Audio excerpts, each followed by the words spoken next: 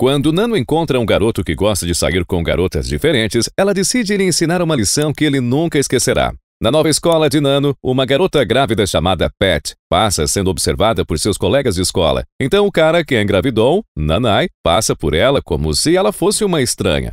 Mas quando é Nano quem passa por Nanai e seu melhor amigo, Jang, ele se vira para olhar, encontrando a próxima garota para se aproveitar. Na sala de aula, Nano se apresenta, enquanto Nanai e Jang a encaram atentamente. Quando a professora pensa em um assento para Nano, Nanai chuta de brincadeira Jang, seu colega de assento, para dar lugar à garota. Embora a professora ignore a sugestão de Nanai, ele ainda considera uma vitória porque fez Nano rir, o que é mais importante. Ao lado de Nano está uma garota chamada Lume. Ao ver Nanai olhando para Nano, ela avisa a nova garota para não se apaixonar por ele, pois ele já engravidou muitas garotas da escola. A escola fecha os olhos graças à popularidade de Nanai e ao fato de que a maioria das meninas opta por interromper a gravidez. Achando isso interessante, Nano brinca que ela ficará bem desde que não engravide, mas Lum apenas parece preocupado. Na hora do almoço, Lum reclama com uma garota chamada Pin que, embora ela tenha convidado Nano para almoçar, Nano queria comer com Nanai. Jeng chega à mesa, mas Nanai sinaliza para ele sair. Então ele é forçado a comer com Lum e Pin. Para Pin, Nanai é tão charmoso que adoraria que ele a alimentasse como faz com Nano. No entanto, Lum sabe que Nanai vai largar Nano assim que ele entrar nas calças dela. Ao ouvir isso, Jang decide fazer uma aposta, perguntando às meninas quantos dias elas acham que levaria para isso acontecer, e assim ele acaba irritando Lum. Pin entra na aposta quando Nano e Nanai passam por eles, excessivamente grudentos. Então ela muda de ideia e acha que os dois não vão durar muito. Ela, Pin e Jang riem. Na aula, os alunos encaram Nano e Nanai. Quando eles saem, Jang chega e atrai todos para a aposta.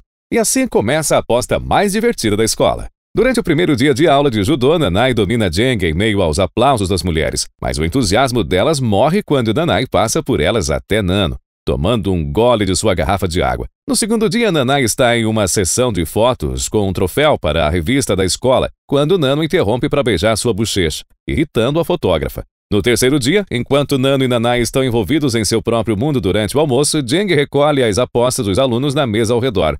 Mas quando ele vê Pat comendo sozinha, ele a ignora e passa direto. Mais tarde, Pat encontra Nano depois de vomitar no banheiro feminino. Ela se aproxima de Nano com cuidado para iniciar uma conversa, informando-a de que todos estão apostando quanto tempo Nanai levará para entrar em suas calças. Mas em vez de se zangar ou negar, Nano pergunta a Pat quanto tempo levou para Nanai entrar nas calças dela, fazendo-a pedir desculpas por ser tão intrometida.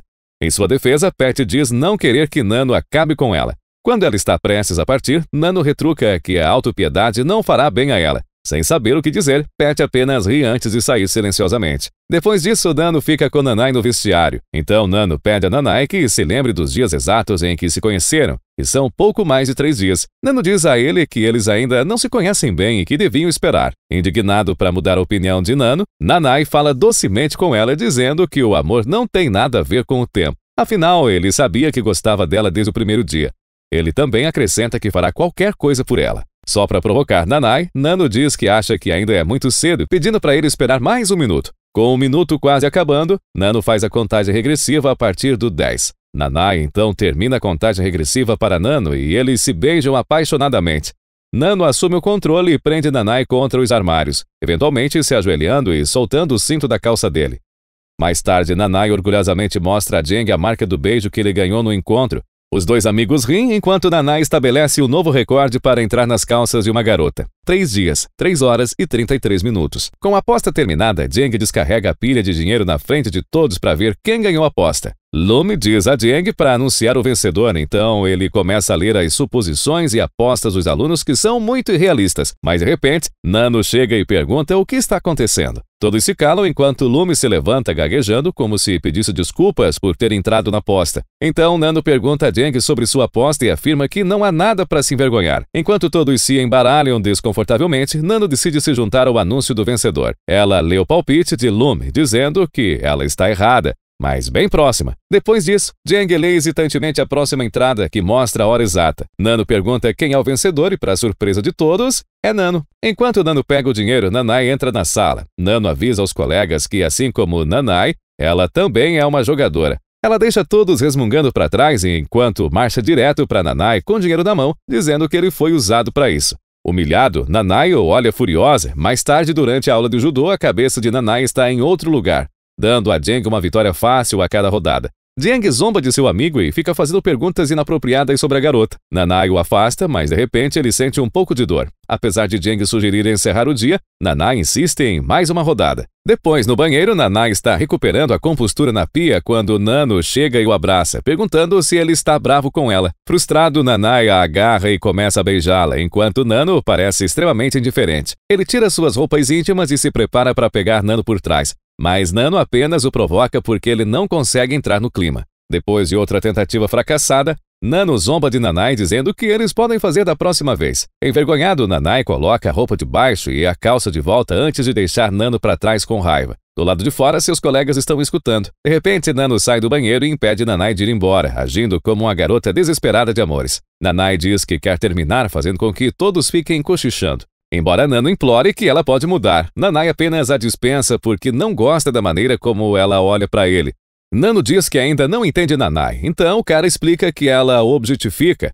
Então Nanai lembra que eles estavam apenas se divertindo. Quando Nanai se vira para ir embora, Nano ri histericamente, revelando que ela está apenas fazendo uma cena para fazê-lo se sentir um homem. Ao mesmo tempo, Nano aponta que ele também a objetificou, no entanto, ela não sente nada, mas diz que talvez depois daquele dia, Nanai comece a sentir algo dentro dele. Durante o almoço, Pat senta ao lado de Nano, que está comendo sozinha. Ela acha Nano estranha porque ela não é como as outras garotas.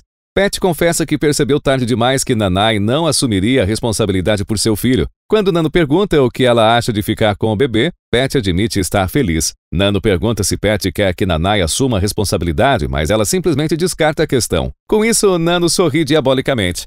Mais tarde no chuveiro, Nanai percebe que algo mudou em seu corpo, mas ainda se lembra do que aconteceu no vestiário. Porém, ao desabotoar o uniforme, ele olha para baixo e grita de repente: Nanai também olha para baixo e vê que sua barriga aumentou de tamanho de um dia para o outro, surpreendendo-o bastante. Quando ele se junta aos pais para jantar, está usando uma jaqueta enquanto esconde a barriga. Quando seu pai pergunta por que ele está vestindo uma jaqueta, ele diz que está com um pouco de frio e garante aos pais que está bem. Ele então começa a comer, mas cospe a comida na mesa e acha que sua comida favorita é nojenta. Ele culpa a mãe por estar cozinhando mal e não demora muito para que ele se levante e corra para vomitar. Na manhã seguinte, Lume compartilha com seus colegas de classe, incluindo Jenk, o incidente que teve com Nanai no vestiário quando eles iriam transar, mas ela fugiu ao ver a barriga dele. Todos se calam quando Nanai chega com a bolsa cobrindo a barriga. Jeng senta ao lado de Nanai e pergunta se ele vai praticar karatê mais tarde, mas ele apenas balança a cabeça. Assim que Jeng come sua comida ao lado de Nanai, corre para a janela e vomita. Chocado, Jeng pergunta a Nanai o que há de errado. Mas quando Jeng comenta sobre a barriga de Nanai estar crescendo, Nanai se irrita e exige ser deixado sozinho antes de sair furioso. Na frente de um espelho, Nanai olha para sua barriga crescendo. Isso o deixa desconfortável, o que fica claro durante a sessão de fotos com a fotógrafa da escola. Mas por causa dos flertes dela após o ensaio, eles se pegam na câmera escura.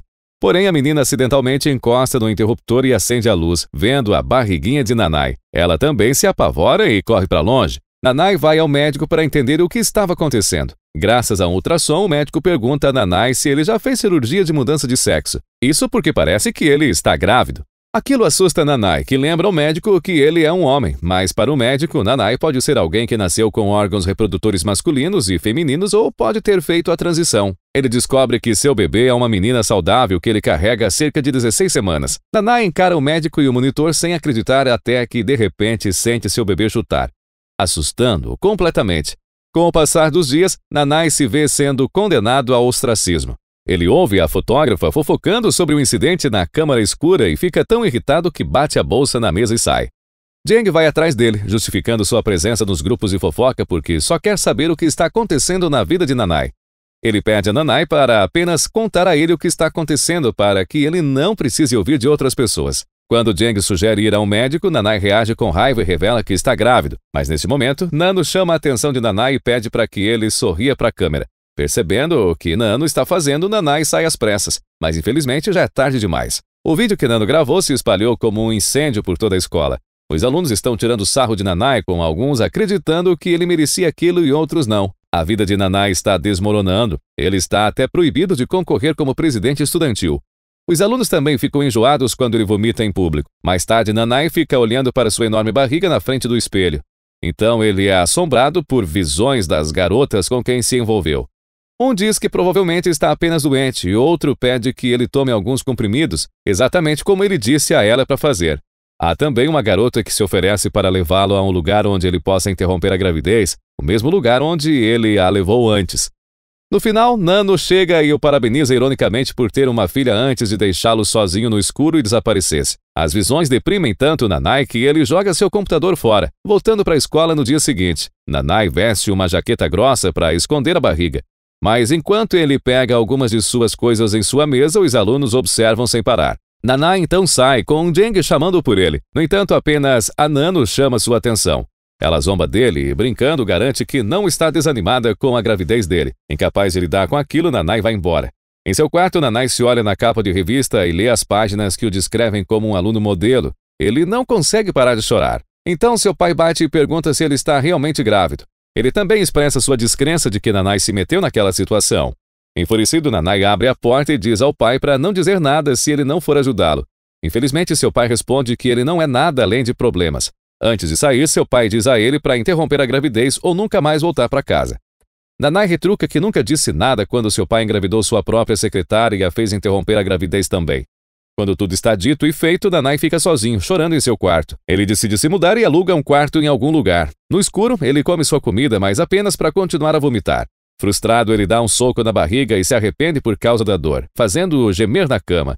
Na frente de um espelho, ele detesta seu reflexo. Depois, ele decide tomar um comprimido que simplesmente o faz vomitar. Em outra tentativa, ele toma mais comprimidos, mas depois vomita sangue e fica incapacitado por fortes dores. Quando Nanai acorda no banheiro no dia seguinte, o desespero leva a agarrar uma faca. Ele coloca a faca sobre a barriga, pronto para se esfaquear quando uma batida o interrompe. Deixando cair a faca, ele avista uma figura do lado de fora da janela. Nanai se levanta e luta para ir abrir a porta, mas vê apenas uma garota no portão já saindo. No chão está um cartão com duas perguntas sobre sua gravidez. Ao ler as perguntas, ele se pergunta como engravidou e pensa na última pessoa com quem dormiu, que foi Nano. E assim, disfarçado de mulher, Nanai espera Nano ao lado de fora da escola. Ele a puxa e exige saber o que ela fez com ele. Mas Nano apenas usa suas palavras contra ele, dizendo que eles estavam apenas se divertindo. Então Nano o deixa para trás. Mais tarde, Nanai segue Pat enquanto ele ainda está disfarçado. Ele a chama e começa a andar devagar, lutando para ficar em pé e se desculpando por tudo o que fez. Agora que ele entende como Pat se sente, ele está totalmente arrependido por tê-la feito passar por aquela situação sozinha. Pat apenas fica lá, garantindo a Nanai que ela não está mais brava com ele. Em vez disso, ela acha que os dois foram os culpados pelo que aconteceu naquela época. Mas Nanai discorda. Além disso, Pat está feliz com sua decisão. Ela estende a mão para segurar a mão de Nanai e Nanai a abraça. Por fim, Pat lhe deseja boa sorte e o deixa com um sorriso. Algum tempo depois, Pat entra em trabalho de parto. Felizmente, após a dor e a luta, ela deu à luz ao seu filho com sucesso.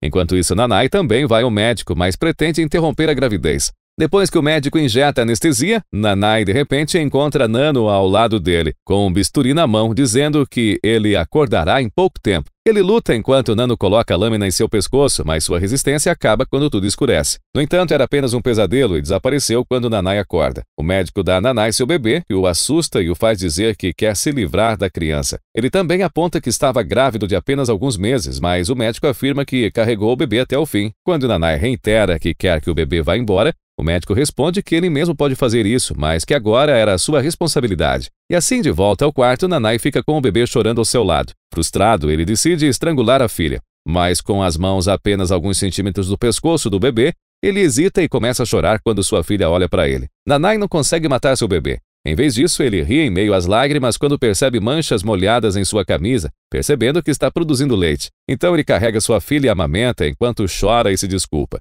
Nesse momento, alguém bate a porta. Carregando seu bebê, Nanai abre a porta e encontra Nano do lado de fora, que beija a filha por achar que ela é fofa. Nanai fica feliz em vê-la, pede desculpas pelo que fez e jura se tornar um homem melhor. Tudo o que ele quer é que ela o ajude, mas Nano apenas olha fixamente, recusando Nanai, pois ela só quer presenteá-lo com suprimentos para bebês e verificar se ele é um bom pai. Apesar dos apelos de Nanai, Nano fecha a porta e vai embora. E quando ela encontra uma fotografia sua com rabiscos por toda parte, percebendo que mais fotos semelhantes estão no chão, ela joga a foto fora e continua andando. Nano vê que algumas de suas fotos estão coladas nas paredes, e ao segui-las, ela finalmente chega ao telhado. A última foto que ela vê é dela com Nanai, no momento de minutos atrás, com o rosto todo arranhado. Então, uma fita vermelha voa até seus sapatos. Na parede, à sua frente, ela encontra uma mensagem pintada em vermelho que diz: Até breve. Minha nossa, é por isso que o karma sempre volta. Crianças e jovens, escutem bem: quando chegar a hora, não esqueçam de se proteger, senão vai que isso acaba acontecendo. Mas e então, o que achou desse filme extremamente perturbador? Conte aqui nos comentários tudo o que imagina. Não se esqueça também de se inscrever no canal e de ativar as notificações após clicar em gostei. E até a próxima Hora da Pipoca.